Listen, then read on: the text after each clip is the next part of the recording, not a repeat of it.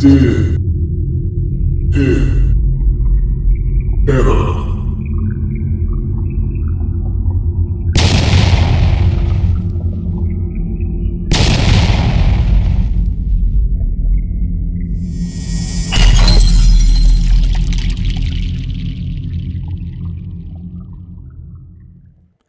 Welcome back. I'm that Halloween movie collector, Pat. And we're going to take a look at what I'm calling Who Did It Better? Where I'm going to take basically, well, this episode is going to be comparing two Michael Myers actors. And other future episodes, maybe I'll do two Jason actors and compare them from different movies. And, you know, could be two Batmans or something in the same vein as that. But of course, I'm the Halloween collector. Halloween is my world. I figured let's start with probably the two hardest ones. Who did it better? Nick Castle, the original shape from Halloween, or Dick Warlock, the shape from Halloween 2? While I love both versions, there are big differences between the two of them. Controversial at the time, still controversial to this day on how they were played. The only saving grace is if you look at um, Halloween 2, Dick Warlock was Michael Myers for Halloween 2.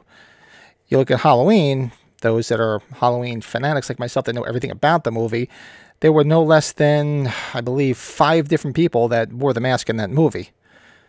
So, uh, but we're only going to do the Nick Castle portion. I'm not going to go do the Tommy Lee Wallace, with, which is the closet scene, and um, you know Jim Winburn when he was shot and falling off the balcony. Don't need to get that too specific. Something minute we can do down the road where we're doing comparing the actors or maybe ranking the Myers actors. But for now, let's just do who did it better and let's see where we come out.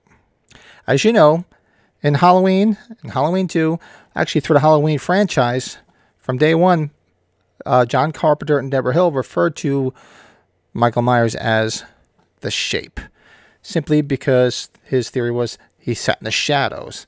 He lit him in blue lighting. And it was supposed to be creepy, atmospheric, and it did its job. That's for damn sure. So it was a build of a specific person. Now, granted, if those that understand why Nick Castle was chosen, he was simply Mike um, John Carpenter's friend, help hanging out on set, watching him make the movie because he wanted to start his own career. And he said, "Hey, why don't you wear the since you're here? Why don't you wear this mask and walk around and, and be the killer? Because there was no lines, nobody needed to see him. It was perfect. So uh, ask for a better being at the right place at the right time. So the shape is basically the silhouette of Michael Myers as the killer. And that carried over into Halloween 2 as well because Dean Cundey, the cinematographer, the great cin- cinematographer that really framed the look of Halloween 1 and 2, fortunately, like I said, he was in Halloween 2 as the cinematographer. So a lot of the visuals and the way it was lit carried right over. You can start Halloween 1 and you can play Halloween 2, and you can put them together as one long movie, really, if you wanted to. That, that's, what, that's what I love about them. That's one of my top two favorites. But the shape itself, so when you see scenes like Michael Myers, where Laurie sees him standing outside her in, in the yard, Mr. Riddle's yard, you see that silhouette of what he looks like. And that's in broad daylight, too, which is odd. You'll, you see later on where, actually before that, Laurie sees him standing next to the station wagon when she's looking out of her, of her schoolroom, and you see you see him right above the top of the station wagon.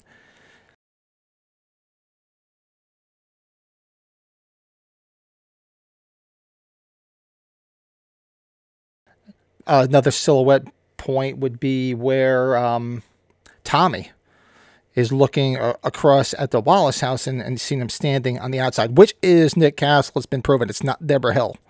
For those that watched that documentary and it confused the shit out of people, it is Nick Castle. It's been proven. So it's not Debra Hill. But that silhouette, it's just an eerie look, or one of my favorite scenes in the movie where Annie is on the phone talking to Laurie, and as she's panning from side to side, you're seeing Michael through the uh, French doors masterful, just absolutely amazing. Now you can compare that, contrast that, who did it, not necessarily who did it better, because in theory, Nick Castle created the shape with the way he moved. I mean, yeah, he had direction from John Carpenter, but just the way he was built. Now you look at Halloween 2, there's a lot of great visuals where the shape was still the shape. So you could look at Halloween 2 where let's see where there's a good moment where you see him in the background which is always the creepiest part where you're always looking to see where he pops up and he's lurking in the shadows. That's what i miss from a lot of the the newer ones. Halloween 2018 almost got it back. But look at the scene where he kills um, Sa- uh, sally the girl after he's shot you know falls off the balcony and, and that's where it picks up in halloween 2 and brackett and loomis are looking for him and he sneaks into the one house next to the elrod's house and you see while she's on the phone in the background blurry background you see him come in and it could very well have been nick castle because the way it was framed it looked great or even when he jumps out from the side when she's looking to see who opened the door and he kills her it's menacing and that shape is still there granted the face looked different in halloween 2 obviously because nick castle had a longer face the castle stretch as they called it for the masks and Dick Warlock had a much more rounded face. That's why it looked a little bit different. And it was the same mask from one movie to the next. It was one of them because there were three of them made for the original movie. And um, so, you, you, other scenes where you, you can uh, think of the shape in Halloween 2, where, um, let's see, where he pops up in the rearview mirror when she, when uh, Nurse Karen shows up at Halloween at the Haddonfield Memorial Hospital. You see him there. It's menacing. When he's standing in the nursery while Mrs. Alves and, and Nurse Karen are, are talking, you see him in the background, which is menacing. The shape is still there. He still had that. So it's it's so to sit there and say who did it better, it's tough because that's why this one's going to be real tough for me, because there's things about it. So as far as I will sit there and say, as far as who is the better shape, I'll give the edge to Nick Castle a little bit more because he created that. I mean, granted, Dick Warlock admitted he didn't even watch it. He really didn't emulate anything. That's why he was very robotic. He did a, did his own thing. But I would just edge it out because it was just a lit. Actually, I don't know. If if you say uh, visually, I would say Nick Castle visually looked better. Dick Warlock, looked more menacing because honestly, I would Halloween scared me when I first saw it in 1980. I was eight years old. So 81, Halloween 2 was the first Halloween I saw in the theater opening weekend. And I was so I was nine years old. It was a year later.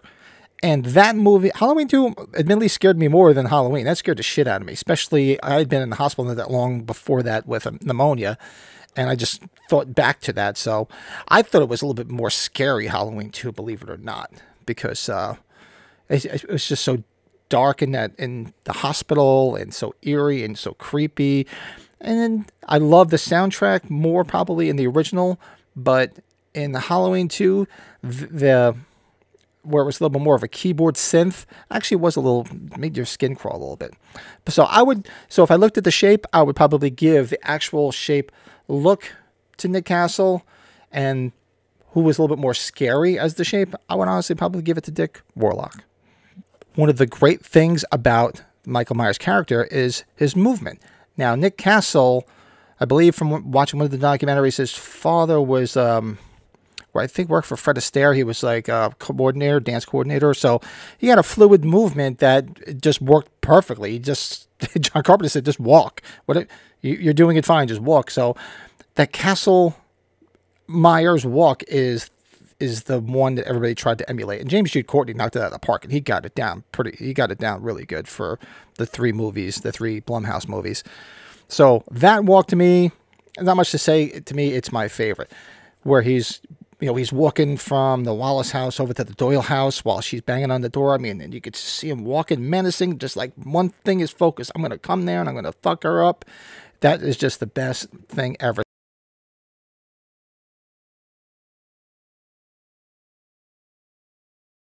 So the yeah that walk, or when she, he comes out of the shadows, when after she discovers Annie over in uh, the Wallace house, and he comes and stabs her in the arm, and she goes over and she looks up, and he's at the top of the steps. As he's walking down those steps, that movement, killer.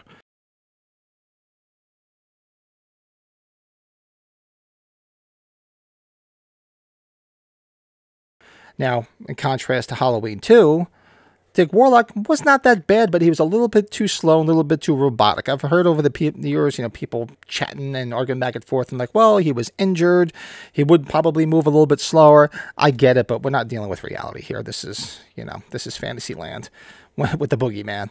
So I, it's a little bit too robotic but it, it's also creepy in its, in its own right too because he's almost like a zombie you know with the part where he is chasing her after um, he kills um, was it was it Nurse Janet? Wait, you know, the sticks her up with the freaking scalpel, starts chasing her, and as he's walking, it's just like he's in a daze. It's very robotic.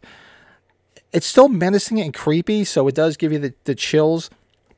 But I would have to give it to Nick Castle because it was a little bit too robotic for my taste.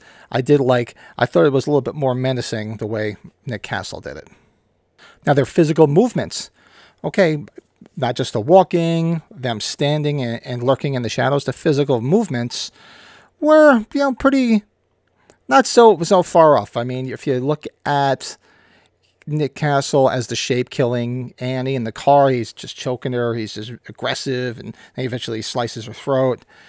When he's choking Linda, killing Linda, you know, he's very aggressive and that looks great. Or one my favorite scene in the entire franchise when he kills Bob in the kitchen, pins him pins him up on the wall with a knife, and the the creepy way he just looks at his stands back and looks at his work. One of the most brilliant things Carpenter came up with was like, yeah, just stand there and look at it. Creepy as hell. Now contrast to Halloween 2 with with Dick Warlock, you have uh, menacing as well because you know it was great visual when he killed uh, Sally in the house right outside the Elrod house when he kills um, uh, Mr. Garrett with the hammer to the head, or probably the most iconic kill scene in, in, in there, Nurse Karen, when he's he's drowning her and all the her skin's melting off, and he, and if and if you go back and watch that, it's weird. It almost looks like his face is like this, like mean, the way Dick Warlock had it was wearing it. Very it's hard to make a mask look like that because it's supposed to be just blank and featureless. But if you look, I will say this, I'll give Dick Warlock that credit. I guess maybe because it was a little stretched over his face because he had a more rounded face. When he, well, I guess while he was getting aggressive during those scenes, you could sort of look like the mask is like giving an angry face. Go back and watch it. Yeah, now I've watched it a million times. That's why I've noticed that. Or even towards the end when he's when he gets shot and the marshal goes down and to check on, and he slices the marshal's throat. The, the, just the the creepy way he did it, just drops him and just stands straight up. It, great. Dick Warlock did do a great job. Or if you ever watch the television version, which is hilarious, where he's just like bouncing him up and down and like sort of like snaps his neck or something like that. If you've ever seen the television cut, because the television cut they don't show him getting his, his throat slit. So I would give the uh, this one's a tough one because it's pretty dead on. They're both pretty menacing and brutal when they were killing. So I just have to call it a tie on this one because I I don't say, think either one was better than the other. It was just pretty straightforward. Now, as far as the look of the mask, well, they're they're pretty similar but very distinct if you look at the if you do watch it especially it's harder because there's so many different looks of the mask in the first one depending on who was wearing it but in the, in the original one it, was the OG, of course. You know, a lot of that blue lighting, hiding in the shadows, and it just looked fantastic. You know, especially the the point, the best part where you really see uh, the Myers mask is after he kills Linda, and Laurie's talking to him on the phone, and as he's standing up and he puts the phone to his ear, that's when you get to see the great visual of the mask. And that I remember to this day how that sent chills down my spine when I first saw it and other scenes in the movie well lit with the blue lighting in the in the background. Now, if contrast to Halloween 2, Halloween 2, same thing. They did a great job. It was the same mask, much to people's dismay. Obviously, it's just a little tattered over the years, and there was always that story about how it got so smoked up from being underneath um, the bed of Debra Hill, which we found out to be untrue because apparently Nick Castle, if you go back and watch the latest episode of the thing with two heads, he had Dick Warlock and Nick Castle. And Nick Castle said it was his mask because Debra Hill came to him. And he just never got it back. He lent it to them and just never received it again. so, and of course, Dick, many years later, Dick Warlock sold it. So, great episode. Go check that out. So, I, it looked good in Halloween too because there, it wasn't, admittedly, not as much blue lighting. There was a lot of darker lighting. There's the scene where he pops out from the from the side of the building when Laurie's uh, gets out of the car when she was hiding, and it's lit in red. And there's uh, even when he was being um, when he was chasing her and going through the hallways. There was really no blue lighting. There was a little reddish hue. So it did look menacing and creepy. And you, you can see the distinct looks when you look at a lot of the masks, which I have all over the place. You know, they're all behind me. And especially with Trick or Treat Studios, they put out multiple versions of the mask based on the way they looked in a specific scene. You know, there's the Elrod mask. There's the, the, the hospital mask. There's all different versions, and the same thing with a lot of the custom mask makers, based on the way it was look and way it looked and the way it was lit in specific scenes. You'll get those masks. So in this case, this is this is another one where it's. I would probably give it to Nick Castle. I'd give it to the, the first movie. The blue lighting to me was a little bit more eerie.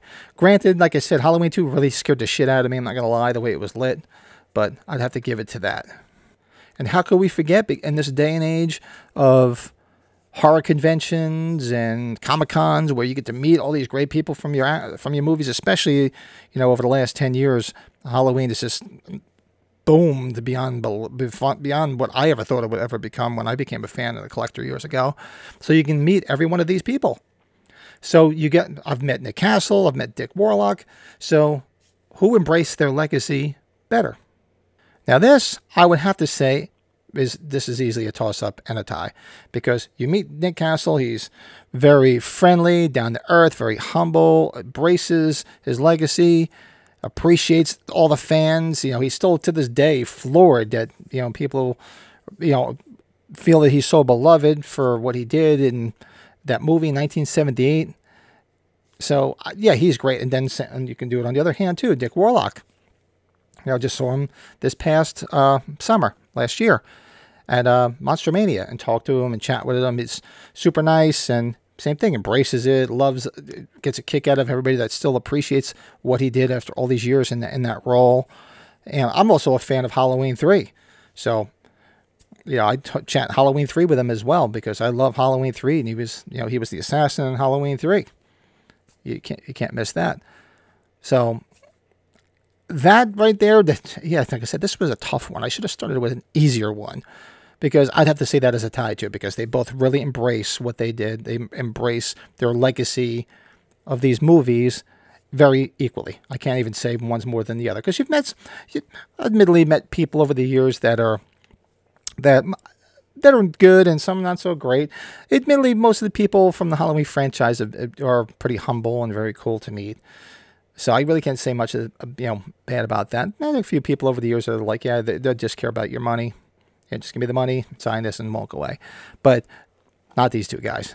They're they're just they embrace it, they love it, they're humbled by it, and they really respect uh, the fans. So that would have to be, it. I call that even. So overall, these are the criteria and the specifics I was thinking of when I was trying to come up with this concept.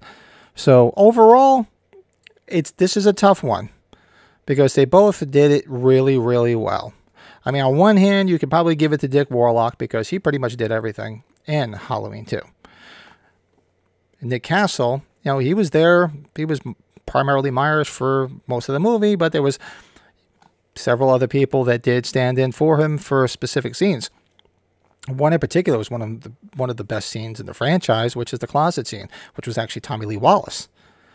Or the unmasking scene, which was Tony Moran. Or you look at where he falls off the balcony. He's getting shot and falls off the back the balcony at the end of the movie. It's Jim Winburn. So yeah, so in hindsight, if you look at it that way, yeah, Dick Warlock would win because he did the movie. But I would have to give it. I edged out Nick Castle for the simple reason that he really was the originator through no fault of his own, just because of the way he walked and the way he, he just glided. So I'd have to give it out to him. And my only critique, which is what, what I said earlier about Dick Warlock, is the little bit of robotic movements. Now, if I was John Carpenter on that set as a producer and Debra Hill, I would have been like, you know what, go back and watch the way he, Nick walked and just get a little bit more of that Nick Castle gliding movement. Not so much the robotic But you know, it's neither here nor there now. I'm not. This is not a knock on Halloween 2 whatsoever. It's my second in the franchise. I love it to pieces.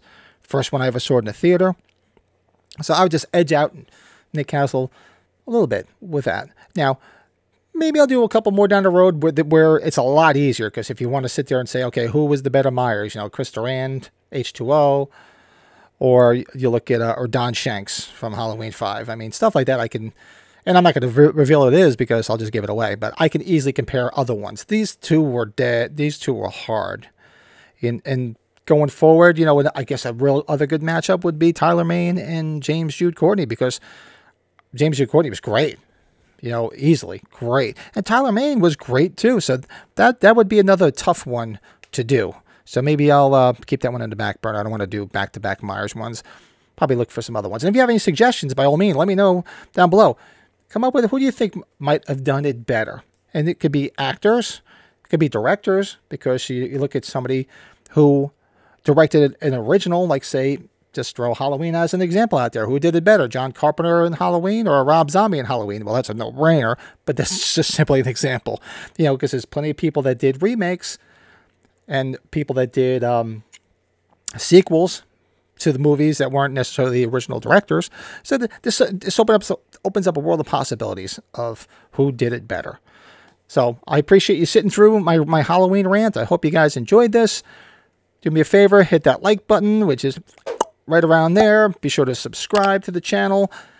Be sure to go check if you're into Halloween, which basically this was the whole premise of this particular uh, episode.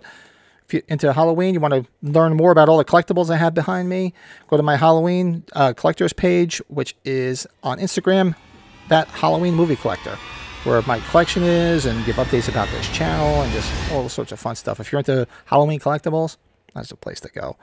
I'm also on Twitter at that Halloween movie collector. Go check it out on Twitter World. If you're a collector and you're in Facebook land, go to my collectors group, which is Halloween and Michael Myers Collectors Group, where you find out anything that's going on in the world of Halloween. There's people buy, selling, and trading, a lot of masks in there, custom masks, rehauls. That's a good community of people and a great place to hang out. We will be announcing a new podcast and, and new uh, movie watch alongs on this channel in the next week or two. So Stay tuned for that. Halloween Collectors Podcast on hold for now. Maybe we'll revisit it in the future, but some new things going to be popping up on this channel, so I hope you come back and check it out. There you have it. Who did it better? Let me know below.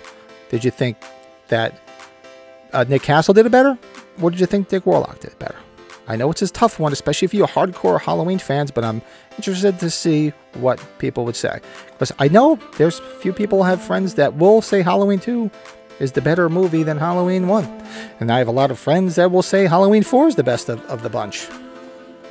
So, and if you're in that group, that and that's cool. Everybody's entitled to their own opinion.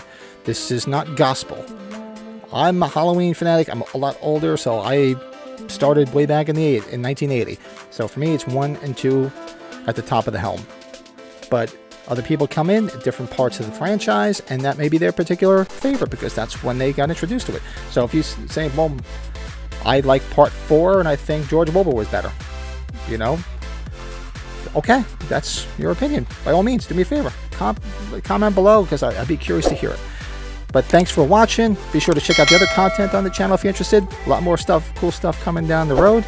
And this was a lot of fun. I hope you did enjoy it, and I will talk to you soon.